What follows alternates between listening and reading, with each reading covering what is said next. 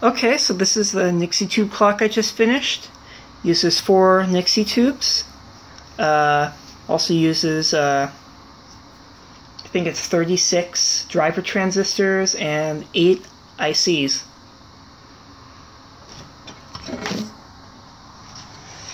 It runs directly off of rectified mains, and there's a voltage doubler to give 350 volts for the tubes. The ICs are CMOS 4000 series logic. Um, there's one 4013 flip flop, and the rest are 4017 decade counters. Uh, this one, I believe, does a divide by by 6, and then a divide by 10, then a divide by 60, and so on and so forth to give uh, minutes, tens of minutes, hours, tens of hours. And the way this works is that um, it derives its it derives its signal from the 60 hertz mains. So how about I just plug this in? So the thing about this is that it it it can power up in real weird states. It didn't do it just now, but what can happen is that if you turn it on sometimes, different uh, multiple segments can come on at the same time. Uh, I guess it's just not doing that today. I can set it.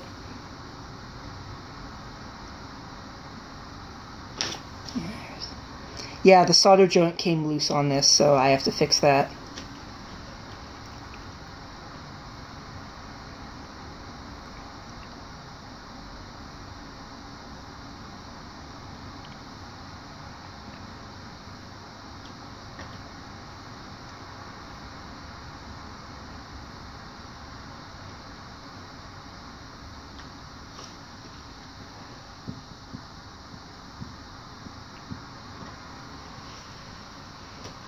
Okay, so another weird thing about this clock, um, basically, uh, the first time after you push the button, um, this is a fast scroll, and this is a there's basically two buttons right here. This one is a fast set, and this is a slow set. And basically, what they do is they short circuit some of the divider chips so that a higher frequency goes into the clock. And so, basically, another weird thing about this clock is that based on when you release this button, the first minute might be shorter than it's supposed to be. Like if you hold this and you say let it go at the wrong point, like a but like the first minute can be like 30 seconds off. So that's what makes setting this clock really hard. I'm pretty sure there's a modification, but I haven't really looked into it yet. So basically how this works is that the chip right here, the 4013, serves two purposes. One of them is to add as a buffer for the mains because it gets its trigger signal uh, from a 2 megohm resistor from the live to the input of the chip. And then I think this divides it by 6 to give uh, to give 10 hertz and then this divides it by 10 to give 1 hertz. And then uh, divide by uh, divide by 6 and then 10 so that's 60 in total to give minutes. And then another divide by 10 to give tens of minutes. And then another divide by 6 to give uh, uh, I don't know what it's called, tens of minutes again, and then a divide by 10 to give hours, and then I, I can't remember, but then another chip to make this turn on and off when it hits 12.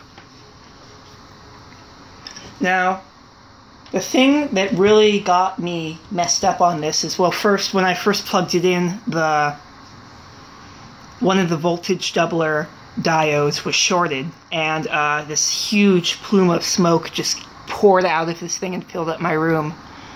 And that was that was unpleasant. At least the lights didn't go out though. So um, how I was running this for a while was I had my vacuum tube power supply running the tubes, and then I had a 6 volt battery running the logic chips. Oh, yeah, and the way the logic chips are powered is that there's a two 100 k ohm resistors from the live go into into a zener, and that gives a 5 volts for the chips. And these chips can run anywhere from 5 to 16 volts, so that really doesn't matter much. But, uh, so, basically, another one of the things is that if you look at the time, it progresses really weird.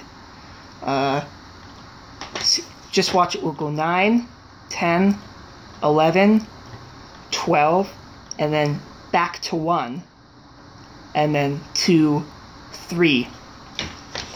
And what this clock was first doing when I first built it was it was going uh, it was going 9, 10, 11, 12, and then 3, 4, 5.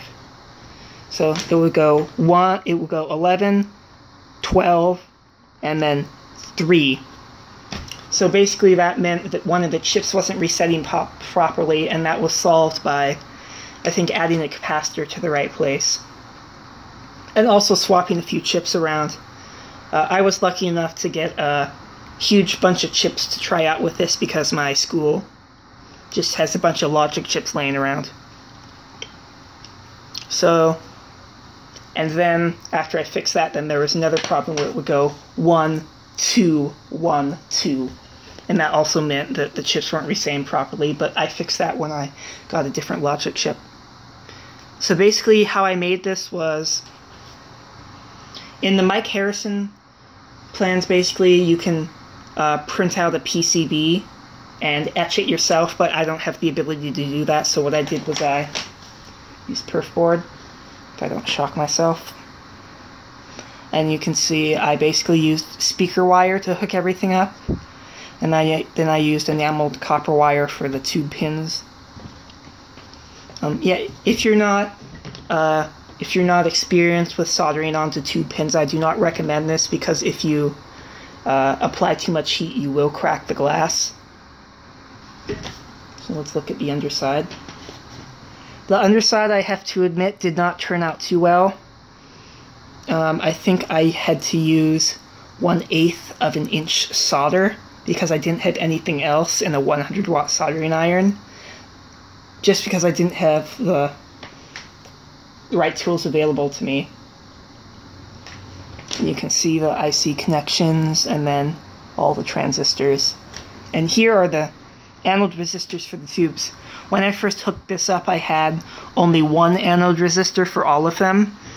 And then what would happen is when the other digits would come on, they would dim. And actually, it got so bad that when all of these were lit and then this one came on, the other ones would go out because the voltage drop was so large across the resistor. So it really is required to have individual resistors for each one. So I, I really hope that wasn't as boring as I thought it was. But that's my Nixie tube clock. I built it over, I think, about three weeks. That took that that was how long it took for me to get the parts, to solder everything, and to troubleshoot it. I think I was lucky on this though. Troubleshooting only took, I think, about a day or so. So I will have all the plans you need to build one of these your own in the description box. Stuff like that. Also a link to Mike Harrison's YouTube channel. So, thanks a lot for watching. See you later.